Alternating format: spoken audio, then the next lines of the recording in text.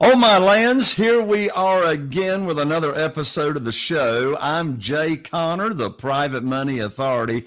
I'm so excited to have all of you tune in uh, here to the show. And I'm so excited to have my guest today. My guest actually is a very good friend of mine. We're in a mastermind together. And I've been having to like twist his arm for a while to get his calendar freed up so he could come on. So let me tell you about my guest. First of all, he's a nationally certified life coach and leadership, and he's one of the top real estate professionals in the world. And listen to this he is closing between 30 and 65 deals a month. That's right. I said that right between 30 and 65. In addition to that, he's the host of a very, very popular podcast, which is called the Uncommon Real Estate Podcast. In addition to that, he's a realtor, he's an entrepreneur, and he's running multiple successful businesses in the Washington, D.C. area. Um, on top of that, he listen, listen, he consistently brings in and closes up to $10 million in revenue year after year. My lands, I am so excited to have my friend and my guest today, Chris Craddock. Hello, Chris, and welcome to the show. Jay, so excited to be with you, my friend. This is this is gonna be fun being able to spend some time together. You got that right, man. And I tell you what, a rock star you are. I mean, you've got amazing success. Um, I want us to dive deep into this show about this system that you have created, which is called the REI Revive system. Um, and so we're going to dive deep. But if you could summarize what I want you to do it instead of me, if you could summarize in just two or three sentences what the REI Revive system does for real estate investors, go ahead and let's share that. I'm going to get your background story after that. Then we'll come back and dive deep into it. Yeah, I mean, anybody that's an investor understands this. If you send out marketing, do any marketing, you're going to find 20 people that raise their hand and say, I want to sell my house. Of those 20, 16 of them are going to want retail. Four of them will sell under market, and maybe you lock up one as a as way way under market as a wholesaler fix and flip, right? Well, what about those other 19? Somebody's going to get paid. It's just not going to be you, right? And so, what we do is teach people how to monetize those dead leads um, and work with real estate agents so that you can monetize those dead leads. So that's that's REI Revive in a nutshell. Yeah. So, in other words, we're going to be talking about how real estate investors can not spend any more marketing dollars than they're already spending, but squeeze out a lot more profit uh, from the leads that they're already getting, even if they don't uh, buy the property, right? Hundred percent. Yeah, I mean, all right. Best. I was just going to say, you can get is what you've already paid for, right? oh, exactly. We we should at least get some return on it. So before we dive deep into that system and how uh, how the real estate investor can make more money without spending more money, um, first I want to hear your background story. How did you get into real estate? Yeah, you know, I graduated college in, in 2000. I got married right away. I went on staff with an organization called Young Life. Young Life was incredible, changed my life, um, just loved it. But uh, you know, when my wife got pregnant, I was making twenty to twenty five thousand dollars a year, and um, you, you, just can't live in the DC area on twenty twenty five thousand dollars a year. And so I went to the library, checked out every book I could find on real estate investing, and just started knocking on doors of distressed properties. I made 12 times what I made in a year in about four months, which is just crazy, right? You like, you know, I, I just couldn't even believe the kind of money. But we bought the house um, that we live in now, and um, I continued doing real estate, uh, or sorry, continued doing ministry stuff. And you know, now I have six kids, and if you know anything about kids, it means like basically your money just disappears really fast. And so um, I literally just was like, I got to do something. So I started uh, investing in real estate again. And um, as you know, I started making money there. There were short sales. I always led large people, large groups of people when I was in ministry, and I ended up going uh, reading Gary Keller's book. Uh, the millionaire real estate agent and i was like man i can i can do this like really build a team and and make a whole heck of a lot of money here's a color by numbers way to make a million dollars a year i think I, I can do this and so we we started building that team out. And then through uh, the success we had there, we married that with the investor side, which is where REI Revive came from, started a title company. We got a mortgage company, a construction company, insurance, hard money, like flipping, wholesaling, all these other 13 other streams of businesses as well that all came from that vector of the real estate agent team. Well, you know, Chris, uh, you know as well as I do, a lot of real estate investors or people that want to get into investing in real estate, um, for whatever reason, are never able to get off the ground, never really able to get things launched. Um, and at best, um, some of them struggle. They may do a deal or here, here or there. You are very different in the fact that not only were you successful and you are successful in real estate investing, but what makes you even more so different is you were very, very successful very, very quickly. What would you say are your characteristics that lend themselves to getting you to have so much success so quickly? Well, you know, I feel like I've got, you know, oh, I do know I've got a four areas of my genius zone that I, I work hard to stay in. But the reason why I believe that I got I got to a place of success faster than most is because I think success comes from two areas: activity and skill. Right? You can, I mean, literally, a, a person can be a terrible salesperson, but if you talk to a thousand people a day, you're going to make more sales than a great salesperson that talks to two people a day. But what happens if you do all of the activity you need to do and you're leveling up like crazy, listening to all the audible books, listening to uh, listening to podcasts like this, doing all the things to level up because your business will grow to the extent that you grow, your life will grow to the extent that you grow. And so for me, man, I'll tell you, I just threw massive energy at this thing. Brendon Burchard says uh, high, in his book high performance habits high performers um, create and produce energy. And so i threw massive energy at it lots of activity talked to enough people and people just started saying yes. And so that was the crazy thing. I think everybody wants wants success but they're not willing to do anything. I always joke for real when i teach real estate agents i say how do you make a real estate agent stop working? You put a phone in front of them right? Like that's that whole idea right there is you know how do you make people like stop working you ask them to do anything right? And to, that makes money. And so that's that whole idea behind it is if you make your calls or like uh, both of us have a friend brent daniels. He has a, a business called talk ttp talk to people right? Like if you just go talk to people good things are going to happen. But if you sit there just hoping they happen they're just not going to happen. What year did you start? Well so uh, I flipped houses in 2003 and then I I stopped and just continued doing ministry because I made a bunch of money and was able to kind of fund the ministry piece for a long time.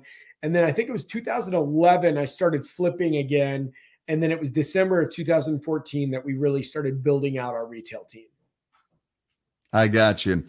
Um, so you were very very successful very very quickly, but along with that, I'm sure you had some struggles and some challenges as you were starting out. And you probably learned some very, very important lessons by making mistakes as you were starting out. What were some of those early struggles and challenges you had? And what lessons did you learn from those struggles? Man, I, there's a lot, but I'll tell you about how about we'll just go with the biggest one, the craziest one, right? Because sure. I like I like to go big and I like to go big fast. So Jim Collins in his book How the Mighty Fall um, talks about a couple things that create failures for um, organizations that are doing well, and one of them is called the hubris born of success, and that happened to me and my business partners. Um, in 2011, we started making a lot of money through these flips and through these short sale flips and other stuff, and so then um, we were good at finding deals. And so we thought we just started buying every deal we could possibly buy. And um, uh, we got in basically i was borrowing money from friends from family from banks from everywhere i could could borrow money from because i found a deal well what happened was we ended up having $10 million borrowed um, and we had more deals than we could handle and so we had all these deals just sitting there dead in the water because we couldn't get them all done so we we just thought anything we touched would turn to gold like midas and um, we just couldn't get it all done in time. And we literally almost came to a point of uh, of bankruptcy because we just we, we didn't know what to do. We're like, okay, well, we got friends and family. We've got to pay their money back regardless. Like their money, like we we will pay even if it takes 30 years, we pay that back. But what are we going to do with the rest? And then um, what happened was we i mean we did i got more creative than i've ever been. I was doing subject to notes where i was the seller and i'm like i hate this. I don't want to be this. But this is the only way to get it done. I don't have the time energy or money to flip these properties right now because i just have too many of them. And so we we just had to get them off our plate. And um yeah me and my other business partners we you know, I lost over over six hundred thousand dollars, and they lost a bunch of money as well. And and we all just we all were in it together, and just just decided that uh, none of us would ever ever ever um, not pay back the money to our friends and family and and people that invested in us privately. Um, and man, it was it was a rough go. But one of the things that one of my mentors said while I was going through it is like everybody needs to go through some tough times. Like nobody should ever trust somebody that doesn't walk with a limp. I hear you, man. That's a good quote. Well, uh, uh, what you just said was obviously um, in your career, you have borrowed and funded a lot of deals with private money, haven't you? Yeah, actually, we, we have. Yep. Yeah. Well, you know, um, and I'm known as the private money authority, uh, and I know you know that. But the two most common questions, Chris, that I get, particularly from new real estate investors or newbies, is how do I find the deals and how do I fund the deals? And you know, raising private money is hard if someone doesn't understand how easy it is. So, Chris, if you will bear with me for about 20 seconds, I have just finished writing a brand new private money guide that is called The Seven Reasons Why Private Money Will Skyrocket Your Real Estate Business and Help You Build Incredible Wealth. So if you are needing private money, needing funding for your deals, this is free. And uh, you can download it uh, after the show at uh, J A Y C-O-N-N-E-R dot com forward slash money guide. And that will get you on the fast track to getting private money, a lot of it very, very quick. That's Jay Conner, J A Y C O N N E R dot com forward slash money guide. Be sure and download that to get on the fast track to getting your deals funded and not missing out on any deals. So let me ask you a question, Chris you just mentioned, I mean, you know, you lost six hundred thousand uh, dollars. You lost a lot of money there, uh, and uh, you know, starting out.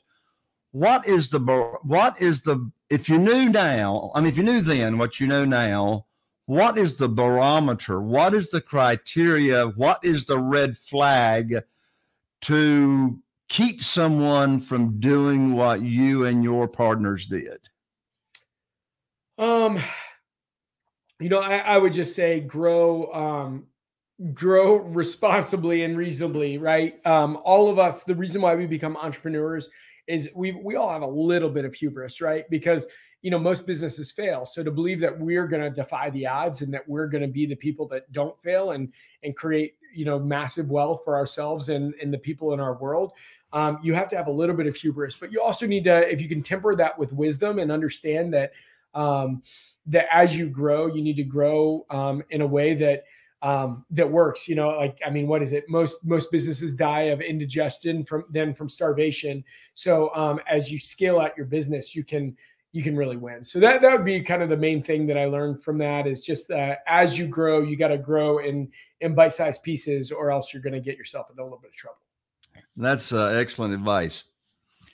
Now you have devised away. We, we briefly touched on it at the beginning of the show, but you have devised, not a way, you have devised a system that's called the REI Revive System. And this is, as you mentioned, it's all about how to take the leads that are already coming in and squeeze more profits out of it. So you gave us the 50,000 foot view at the beginning. Now I want you to give us step by step by step as much as you can. How does this work? I mean, you know, what what do, what do what does somebody have to put in place for this to work? What relationships need to be in place? How do you do the handover? Take us from start to finish. Yeah. So, um, well, I'll start with this. One of the things that that I'm learning, and, and if you're an investor or a wholesaler, what I'm seeing is so many states are requiring that wholesalers get a real estate license. So just be aware that this is what's coming here in the future. So we're creating a almost a tribe within the real estate community. Um, I, I moved my business over from Keller Williams to EXP Realty because I do believe that this is what is coming. Um, and EXP allows you to create a tribe nationwide. So if you are if you're a licensed real estate agent or if you are a wholesaler that understands that this is coming and you're becoming a licensed real estate agent, please reach out to me at CradRock on Instagram, um, C R A D D R O C K. Please reach out to me there. Now, REI Revive, what we do is teach people that when people call in, like I already talked that brief second, like you get 20 people calling in, uh, 20 people that say, I want to sell my home. Most of them are going to want to sell at a retail price, right? And so when they call in and, and want to sell at retail, what are we doing? We're sending people out to the property so that they they're not hearing that a real estate agent is coming out everybody's got a friend who is a a brother's uncle who is a pest control person and a real estate agent right? They don't want to talk to another real estate agent. So you're going out as a valuation expert to look at the property and then you're you're offering them a solution to their problem right? So one is they can go out and they can get a cash offer, right? You can give them the cash offer, but you've already kind of qualified that they they're probably wanting closer to retail price. Number two is you could list it like everybody else, right? But in most states, you have to go to school longer to cut hair than you do to become a real estate agent. And so, are you going to get the kind of results that you're looking for? Or three, um, we have a hybrid model. This hybrid model where basically we've got so many end user investors, right? Which are people that are buy and hold, people that live there, people, all the other stuff um, that are going to come in. They're going to pay closer to the amount of money that you're looking for. And we're going to get it sold almost always as is, really fast, and in a way that is going to make sense to you, where you're not going to have to leave 35 cents on the dollar on the table. And that is that's the the pitch to to the seller. And that pitch typically, I mean, that's why people are making, I mean, literally, I see uh, wholesalers that were leaving all these leads dead in their CRM that are making fifty, sixty thousand dollars a month uh, in those dead leads. So that's that's the pitch behind our REI Revive program. Wow, that is amazing. Now, it would seem to me it's very, very important in this process to for the real estate investor to choose the right real estate agent to work with. So there's there's a question. Do you advise a real estate investor to have one relationship with one real estate agent that's being fed all the leads and all the business, or more than one real estate agent? Well, I mean, I'd say it's uh, there's two two ways to to skin this cat. One, you can create your own team, which I think is part of where a lot of stuff is going. Um, you know, a lot of investors, a lot of folks that I coach are doing that, creating their own team and monetizing those deals themselves. But other other than that, you can also find a real estate agent that is really great. But here's the deal whether you do your own team, whether you find an agent, or whether you're just hiring somebody in your business for something else, I don't care whether you're selling furniture or or what, you're looking for these four character traits happy, hungry, humble, and smart right? If they're not happy, they're going to be just it's just a matter of time before they get pissed off with you before you you cause them to not do a good job. It's your fault that they're not making the money they want. It's your fault whatever. So if they come telling you about the old boss and why they're not happy there, it's just a matter of time before they're not going to be happy with their new boss, right? The second thing is uh, hungry, right? For people that like sit on their butt and just hope good things happen, good for them, right? But I'll tell you what, if the door is closed, I'm climbing in the window, right? Well, hopefully not like in a creepy way, but you get what I'm saying, right? Like I am gonna get in that. Get, I don't take no for an answer. So happy, hungry, humble. This now, this is one of the areas where I think most people get things wrong. Is they think humility and confidence are like two opposing things, right? But I think they're they're brother and sister. Humility and confidence. Now, arrogance and humility are different. So here's the difference. Confident people know that they are that they're what they're thinking and what they're working on is the right way to go because they've spent the time, energy, and effort to understand the correct path. Um, but they're willing to listen and willing to be wrong and willing to adjust their path. Arrogant people say, I'm always right, never wrong, and they never adjust where they're going, right? So just understand that. And then finally, smart. And this goes with the humility piece. Smart is not, I got perfect SAT scores or, or you know, anything like that. Smart is I'm a quick learner, right? If I if I screw up once on something, I'm going to play Groundhog Day and run it over and over and over in my head until I say, man, if I had that to do a hundred times over, how could I have walked away with a signed agreement? How could I have walked away with a different outcome? And you're running that through so that you don't make the same stupid mis- decisions again and pay a stupid tax for just doing stupid things over and over and over again, right? So smart is learning how to learn from your mistakes, adjust, and make better decisions in the future. Um, in case um, anyone has to leave the show early, Chris, I know um, that um, people want to learn about this revive system, how they can make more money off of the leads they got coming in. Uh, how can people find out more about this system that you're talking about and connect with you and your team? Yeah. So if anybody wants to reach out to me directly, um, you know, obviously my website is chriscraddock.com. Um, if, if you want to talk with me directly, I answer all my own Instagram DMs. So it's at Crad Rock, old cheesy high school nickname, not my last name, C R A D D R O C K. And then also I have a podcast as well um, obviously, the average podcast listener listens to seven podcasts. So keep listening here. But if you are a real estate agent and an investor um, or desire to be both of those, um, that's who my podcast is for. Um, it's called Uncommon Real Estate. So those are the areas where I kind of live and spend most of my time, you know, working with folks. Yeah, and just one more time, Chris, just a little bit slower. How do you spell your uh, Instagram for people to, to uh, direct message you on Instagram? Yeah, it's it's at Crad C R A D D R O C K Crad Rock, old cheesy high school nickname.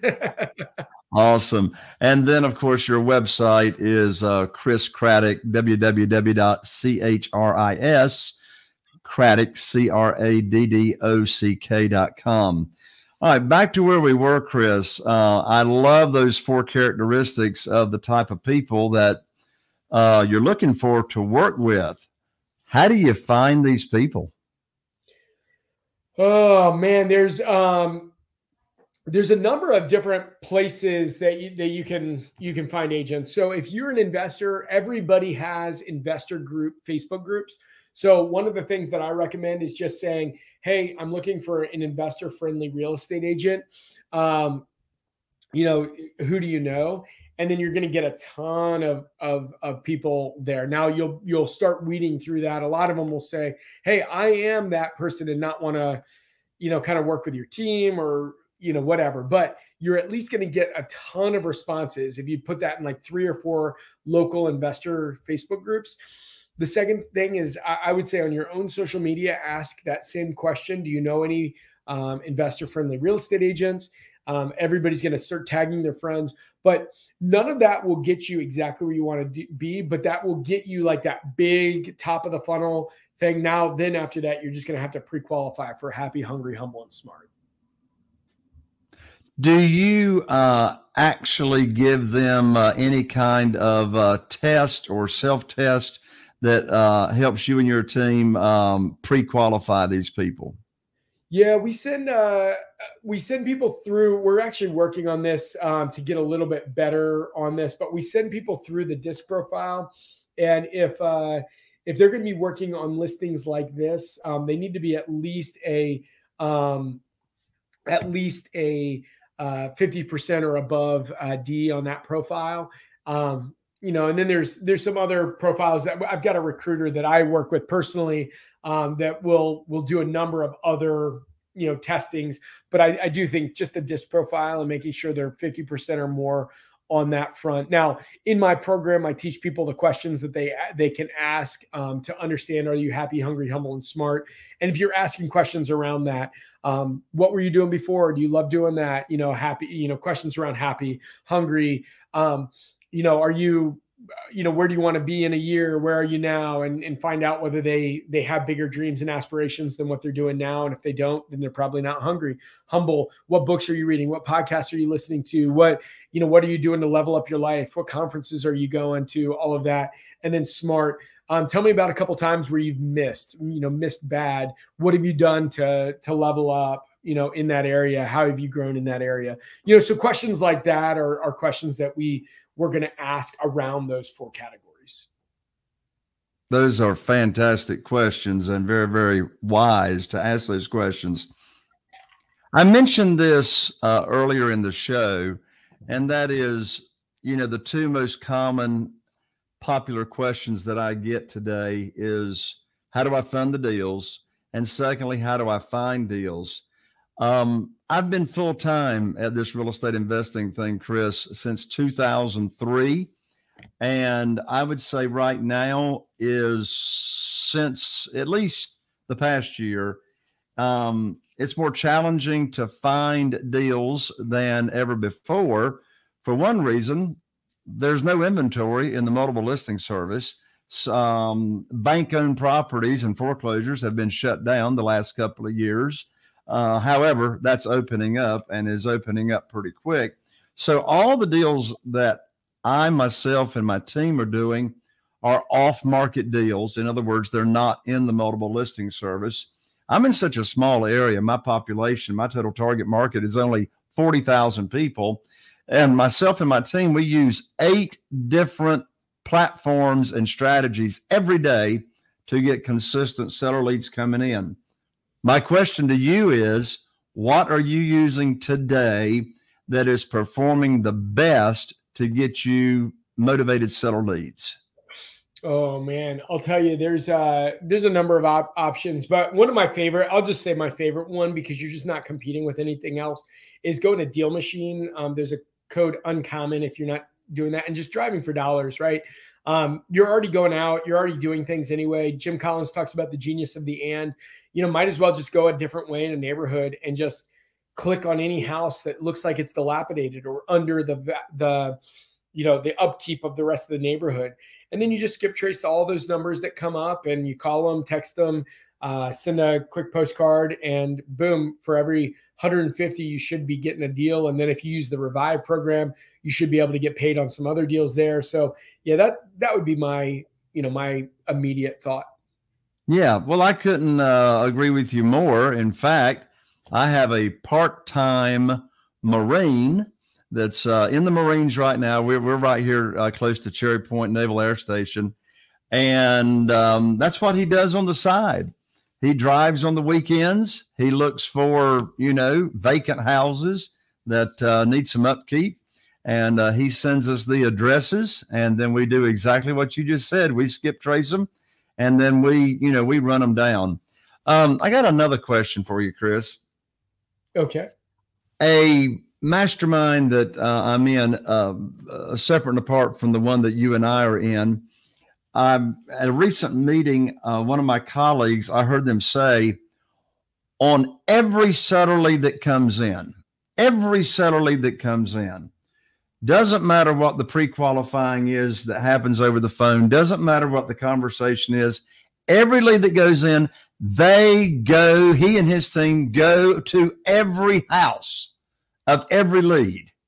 Uh, what's your what's your take on that? What's your opinion on that strategy? I think that's uh, going to every single house. I think that that's a a tough thing if you are. Yeah, I mean, I get what what you're talking about. If you're starting out, I think that's great, or if you have a lot of extra manpower. But at some point, I'm personally a big fan of working hard, but also working smart.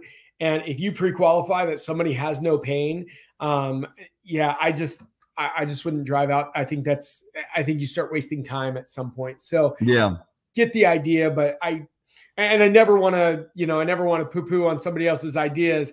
Um, but I don't know who who it is. But I would just say if somebody doesn't have pain, if somebody you know just wants something, you know, foolish for their house, I, I would probably say I don't know that that is going to be a good fit for my time. Well, you and I agree. I was just I was just curious if if I had found somebody else that yeah. was doing that. Yeah, you're right. I mean, you know, the people that we buy from have got a problem. They've either yeah. got a they got a personal problem or the property's got a problem, and most of the time it's both. right, right. You know, um, and so we lead with we lead with a servant's heart. Uh, we do everything that we can to help these people, and those are the properties that we uh, end up buying. Uh, Chris, you have just got a wealth of knowledge. One more time on how people can connect with you, and then parting comments uh, from you. Yeah, um, so you're you're just asking for parting comments. I'm sorry, is that what you said? Yeah. Fi- final comments. Any any other advice you'd like to give either a newbie or a seasoned real estate investor? Yeah. So what I would just say is this: one, if you are in real estate, just know that the agent investor piece is coming together. Um, anybody that's seen what happened with PropStream, I know there's a lot of stuff behind it, but the reality is NAR, the National Association of Realtors, has a lot of money, and they're going to be bringing uh, you know this this to bear where people are going to have to get licensed. So definitely start considering that and looking at that now. Um, and and you you just really want to think through where is the best place to put your time energy when you start doing that. And so that's what we're really working to build out is a place that is um, is going to help everybody that is agent investor kind of friendly, one stop shop friendly. So I, I, would love to talk to you on that front. Second is understand that your business is going to grow to the extent that you grow, right? If you're not spending at least a half an hour, but I recommend an hour a day in personal development on podcasts, audiobooks, reading, like just just all of the different things that you you can do to level up your life and think bigger. I mean the amount of mentors that we have access to that you don't even have to know anymore literally will shape the way you think about the world. You've just got to get into that. Just remember activity and skill every day do the work and get better at what you're doing. That's awesome. Chris thank you so much for joining me on the show today Jay, this is awesome. I'll tell you what, I've always had great respect for you, and I'm so excited to be able to spend some time with you, my friend. That's awesome. There you have it, folks. Another episode of this show. I'm Jay Conner, the Private Money Authority, wishing you all the best. Here's to taking your business to the next level. And we'll see you right here on the next show. And of course, we always appreciate subscribing, rating, reviewing, liking, sharing. If you're watching us on YouTube, be sure and uh, ring that bell so you get notified not to miss any other episodes. And if you happen to be uh, listening to us on iTunes, uh, we really appreciate your comments and the five star reviews. We'll see you right here on the next show.